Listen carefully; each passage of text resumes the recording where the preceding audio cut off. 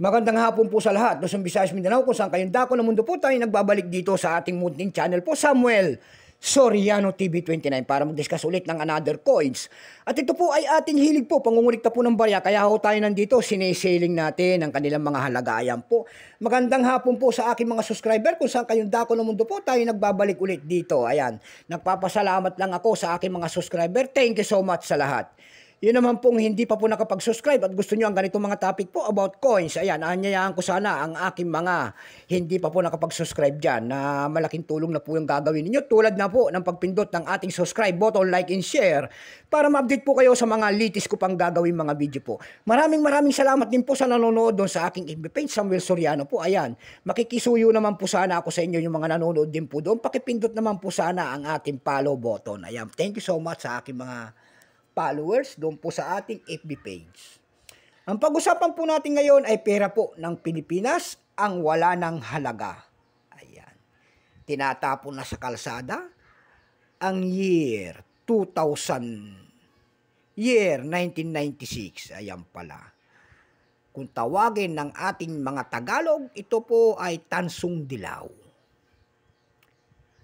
Ayan, pagkatalikod po makikita ho natin ng isang year, 1993, ang pagtatag ng ating Bangko Sentral and then Catwheel po, dyan po bumabase ang ating mga kolektor kung ano reverse o dayan.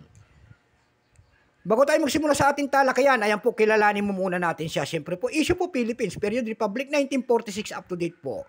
Type standard circulation coins years 1995 hanggang 2003. Ayan.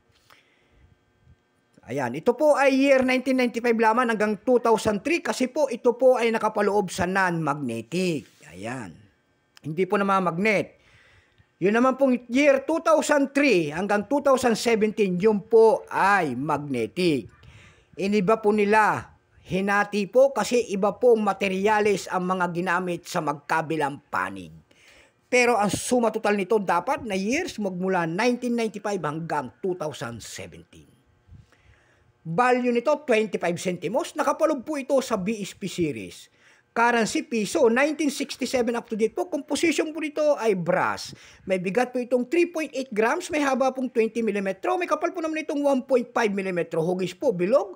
Orientation nito middle alignment. Number and dash 1682. Reference number KM-272. Kung tawagin ang kanyang nasa likod, ito po ay sale of the Central Bank of the Philippines po. Ito pong year 1996, ito po ay 41%. Ayan. Ayan, nalaglag pa ang ating tansong dilaw. Wala pa pong vintage kung ilang piraso ang binababa ng Bangko Sentral sa barya na ito. Ayan, wala pa pong vintage. Pero may price na doon sa ating numista kung tawagin ng ating mga kolektor. Yung kanyang very fine 14, extra fine 14, almost uncirculated, nagkakahalaga na po ng 23 pesos. Doon dako naman tayo sa kanyang presyo sa mga pamantayan nating platform sa pandaigdigan. Doon po sa ebay.com nakakita ho tayo nagbebenta nito ng 718 pesos. Meron din tayo nakita doon na 664 pesos. Meron din tayo nakita doon na 361 pesos. Meron din tayo nakita doon na 82 pesos. Yung pinakamaliit po ay 55 pesos. Dako naman tayo sa doon po sa isang site, sa Carousel PH po. Ayan. Sa carousel page po may nagbebenta nito ng 250 pesos and then 275 pesos.